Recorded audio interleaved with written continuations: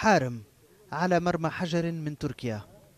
كانت للتو مسرحا لمعارك عنيفة. كان الجيش النظامي مدعوما بالطيران الحربي قبل أن يتراجع إلى قلعة المدينة التاريخية وهناك كانت النهاية.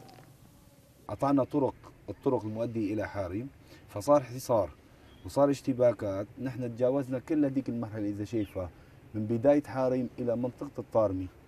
تقريبا أكلت معنا شغلة 40 45 نهار. أوقفنا إطلاق النار لأن النساء والأطفال احتجزوا هون. وحين تقطعت السبل بعناصر قوات النظام سلموا أنفسهم للجيش الحر في انتظار مثولهم أمام محكمة يقول مهند عيسى إنها ستكون مستقلة. الأسرى في عندنا نحن محكمة قضائية مثل ما قلت لك هلأ مستقلة. هي مهمتها تراعي تشوف الإضبارات أو التحقيقات اللي معهم. وحسب الإضبارات والتحقيقات تعال للمحكمة هن بقى بياخذوا القضاء.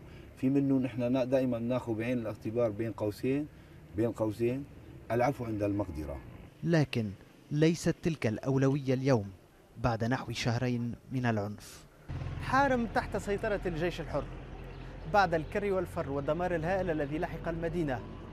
الأهالي يخوضون معركة من نوع آخر. محاولات لكنس ما تبقى من المعركة. القصف البري والجوي دمر أحياء بأكملها لكن تبقى إعادة الأمن للمدينة الشغل الشاغل. بعد الجبهة يقود مهند جهود التأمين خاصة فيما يتعلق بتجنيب المنازل المهجورة النهب والسرقة.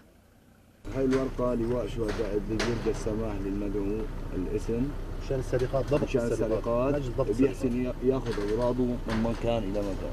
ورغم كل تلك الجهود فإن هناك قناعة بأن عودة الأمن والاستقرار إلى المدينة ليس بمعزل عما يجري في بقية أرجاء سوريا. بسام بونني سكاي نيوز عربية حارم.